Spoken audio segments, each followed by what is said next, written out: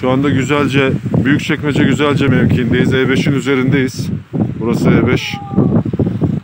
Arabalar bulan bulduğu yere bırakmış.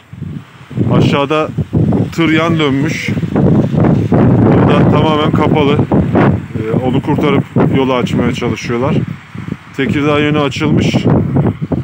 Fakat İstanbul yönü şu an bu durumda. E5. E5'in üzerindeyiz. Tamam. Tamam. Her yerde çalışmalar var. Kepçeler çalışıyor yolu açmak için. Kar yağışı durdu.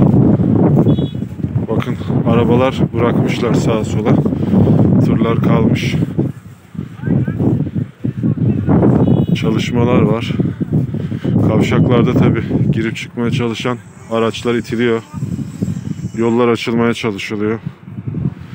Havada dona çekmiş durumda. Arkadaşlar Ciddi anlamda.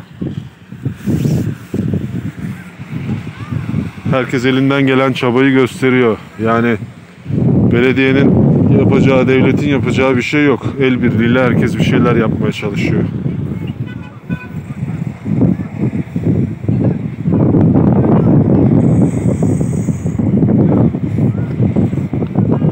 Ama İstanbul yönü E5 tamamen kapalı durumda.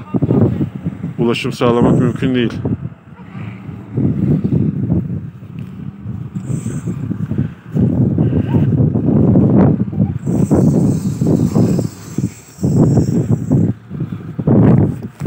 Yani bir metreye yakın kar var yerde şöyle gösterebilirim. Dizimin altına inen kar var.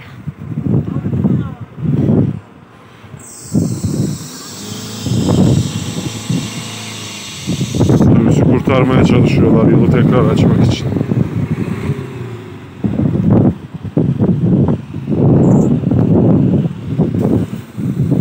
Çok büyük bir afet yani buna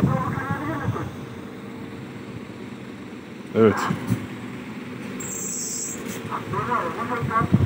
Tekrar açıldı yol. Beylikdüzü ve Büyükçekmece'den tabi araç ulaşımı olmayanlar yürüyerek gelmeye çalışıyor. Onlarca kilometrelik yolu. 7-8 saatlik, 10 saatlik yürüyüşler şu anda. Çalışmalar devam ediyor. Bakın İstanbul yönündeki yolun durumuna bakın. Hemen hemen bir metre kar var.